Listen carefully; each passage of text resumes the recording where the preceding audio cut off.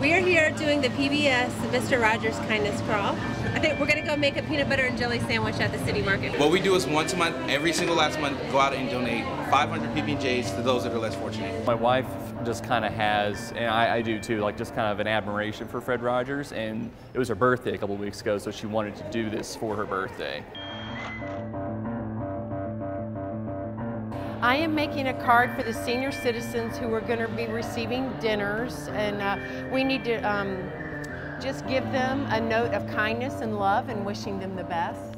After watching his show just made you feel kind and to be to go out and be kind to someone.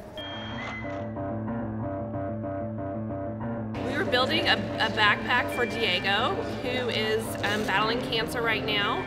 And so we've got all kinds of wonderful things in this bag for him. He is um, Spanish speaking, so we had to have to make sure we had some special toys in here for him. Well, I'm still getting things out of watching Mr. Rogers, although he passed in 2003. I have two sons and I'm raising them by myself, and the shows are creative and they help the kids have self-confidence.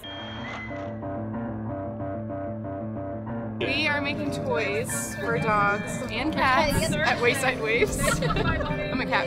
so I hope that a cat will chew on this. But I feel like this event made it easier to go out and like meet new people in the community and like spread love and kindness and just like awareness of being a good person, which I think we need more of these days. Our special guest has been in his own kindness crawl today. He was at the VA Ronald McDonald House uh, Harmony Project, and so he is going to share a little bit of music with us and a few words for you. So help me welcome Yo Yo Ma. a beautiful day in the neighborhood. Would you be mine? Could you be mine? Won't you be my, neighbor?